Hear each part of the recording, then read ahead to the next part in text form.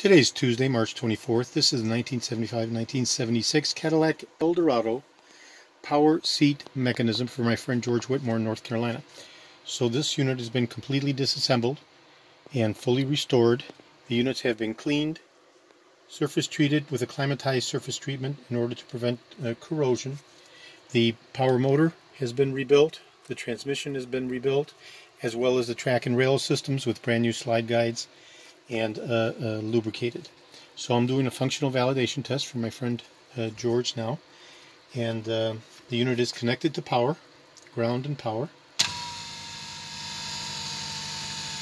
Forward actu actuation. Rear actuation. Forward rise.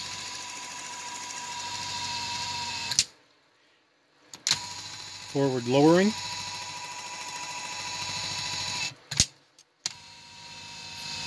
Forward linear movement,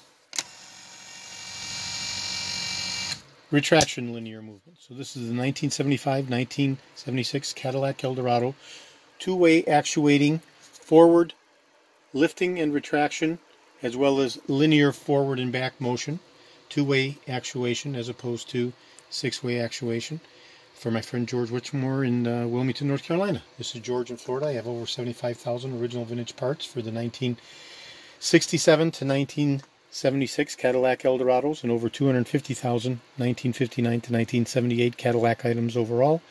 I'm best known for my restoration of the Cadillac steering wheels with the wood grain inlay and the steering columns and these power seat mechanisms. Okay?